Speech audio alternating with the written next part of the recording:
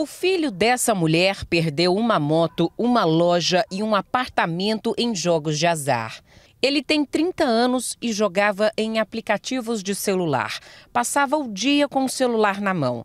Quando vendeu os bens que tinha, passou a pegar dinheiro emprestado com agiotas para sustentar o que se tornou um vício em jogos. Ele jogou muito. A gente perdeu é, é, apartamento por causa dele, se envolveu com a agiota, com a, agiota, a loja dele, né, a, a, mercadoria que ele tinha dentro da loja dele. Tudo que ele tinha, ele vendeu.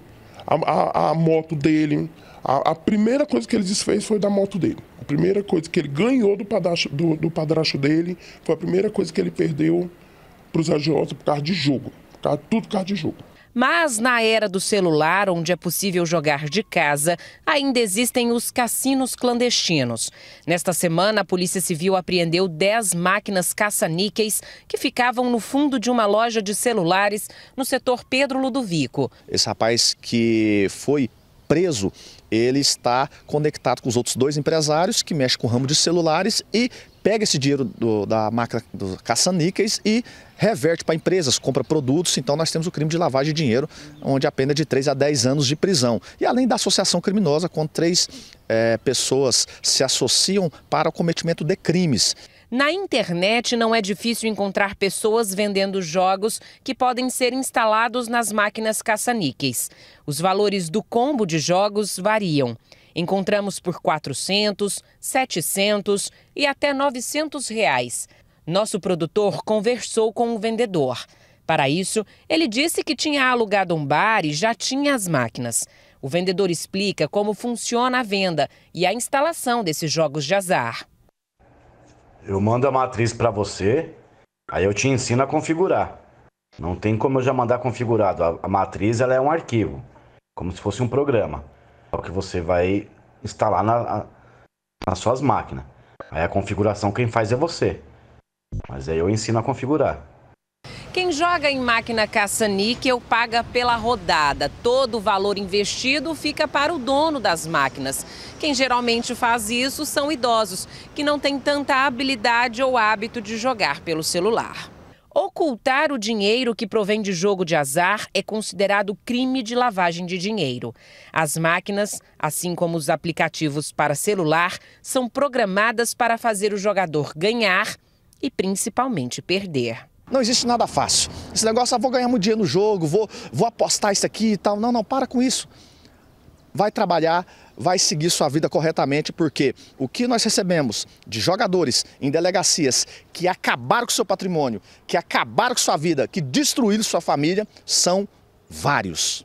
No Senado, tramita um projeto de lei que prevê a regulamentação e liberação de jogos de azar, como bingos, cassinos, apostas em corridas de cavalo e jogos do bicho, principalmente em polos turísticos. Para isso, haveria a criação de dois novos tributos. O maior problema é o vício e o endividamento dos jogadores. O governo tenta de todas as formas bloquear sites e aplicativos de apostas. O presidente da Comissão de Direito Digital da OAB Goiás fala sobre a recente regulamentação das apostas esportivas. Essas casas de apostas esportivas são aquelas que têm os resultados vinculados a algum evento esportivo. No entanto, aqueles jogos eletrônicos que não têm esse mesmo parâmetro também sofreram algum tipo de diretrizes e precisam seguir para que não sejam considerados legais. Não é crível que sites de aposta, como temos visto hoje no mercado, que se utilizam de fraudes, de golpes e subterfúgio do jogo para poder levar o prejuízo ao consumidor. Famosos, influenciadores digitais grandes ou pequenos que divulgam jogos de azar estão na mira da polícia.